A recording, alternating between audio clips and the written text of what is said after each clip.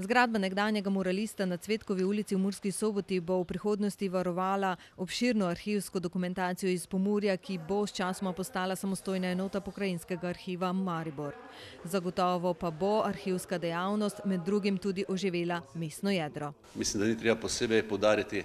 kakšen zgodovinski pomen ima ta pridobitev, zaradi tega, ker ko se bo arhiv selil iz Maribora, kjer je sedaj, bo tudi priložnost, da zgodovinarji ponovno obrišejo prah iz posameznih dokumentov, pregledajo dokumente in potem seveda v skladu s pravili stroke zložijo tam, kjer morajo biti, našim zanamcem v uporabo. Kot župan mestne občine Murska Sobota pa izražam izjemno zadovoljstvo tudi zaradi tega, ker v središče regije, kar Murska Sobota je, prihaja tako pomembna inštitucija, in zaradi tega smo že kar nekaj mesecev, skoraj leto dni po prvem sestanku našem tudi v mestni občini Murska Sobota intenzivno pomagali, da je ta investicija zaživela. Tudi del svojih zemljišč bomo neodplačno odstopili zaradi tega, da bodo funkcionalne površine k temu objektu tudi lahko uporabne. In nenazadnje, to, kar večkrat tudi na mestni občini poudarjamo, tudi taka dejavnost oživlja na neki način mestno jedro, sem bojo prihajali ljudje, ki se bojo v mestu zadrževali, in nenazadnje tudi takšno pridobitev pomeni tudi nova delovna mesta.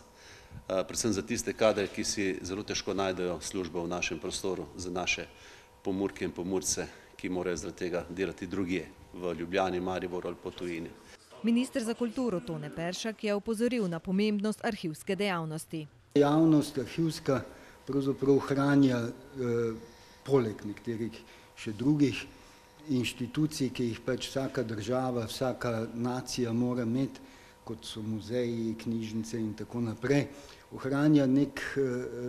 materializirani del skupnega spomina, ne. In to je izjemno pomembno zaradi tega, ker tukaj gre za dokumente, se pravi za res preverljive stvari, vire, kadar hočemo nekaj o preteklosti izvedeti, v tem primeru seveda o preteklosti tega zelo v zgodovini dinamičnega, zelo zanimivega območja, vemo, ne, da je Prekmurje bilo na neki način na meji vedno, ne, bilo je velik del svoje zgodovine pod ogrsko oziroma madžarsko, živeli so tu Slovenci, zgodbe o protestantizmu poznamo, o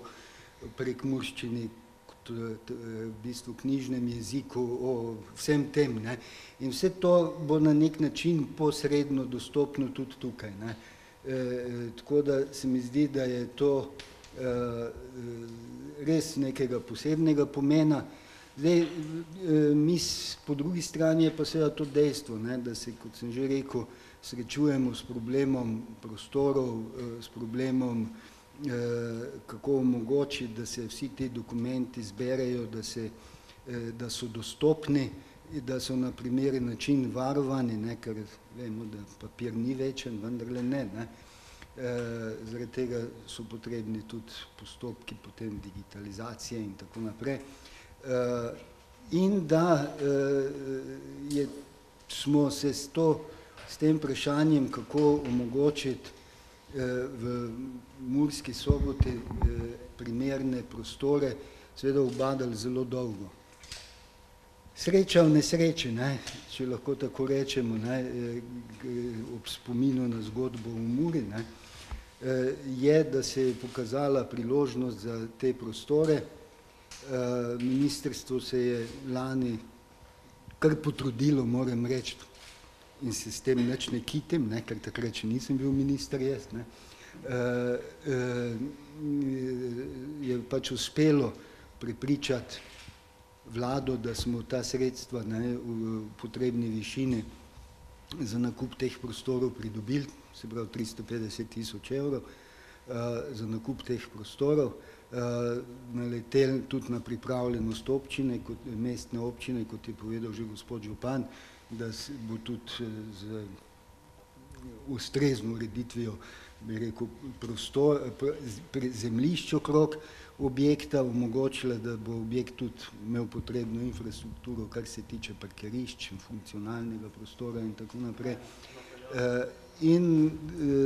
v letošnjem letu imamo na ministrstvu 37 tisoč evrov namenjenih za te prve bi rekel, intervencije ali pa tudi pripravo dokumentacije in tako naprej, da se bo, ki je potrebna za to, da se bo potem objekt ustrezno prilagodil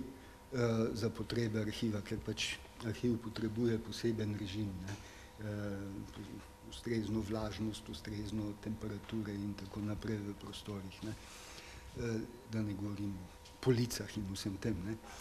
Gradbena dovoljenja naj bi bila izdana konec meseca avgusta, arhivsko enoto pa naj bi odprli v dva tisoč osemnajst. Zelo veseli smo, da je tudi Mestna občina Murska Sobota že od začetka nakupa tega objekta nam stopila naproti, kot je gospod župan povedal, smo brezplačno dobili v prevzem ta funkcionalna zemljišča, ki se tukaj vidijo pred nami in pa seveda tudi od zadaj po novem, tako da se mu tudi na tem mestu gospodu županu zahvaljujem za njegovo dobro sodelovanje. Jaz upam, no, ko bomo po pregledu objekta, mi smo ta objekt seveda že pred nakupom si dobro pogledali, preverili statiko, bomo ugotovili, da gre res za objekt, ki ga lahko ustrezno opremimo, tako da bo imel vse te karakteristike, ki jih arhiv potrebuje, pripravljene. Predvsem si želimo, da pridobimo skladišča za naše arhivsko gradivo, ki ga trenutno hranimo v naših skladiščih v Mariboru, in prav je, da gradivo spet pride urejeno nazaj v Prekmurje. Naša dolgoročna želja pa je, da iz tega arhiva, se pravi iz naše enote za Prekmurje, Pokrajinskega arhiva Maribor nastane potem tudi samostojna enota za Pomurje. To se pravi, da bi vključevala vse štiri te večje upravne enote ob reki Muri, se pravi Murska Sobota, Lendava, Ljutomer in pa Gornja Radgona.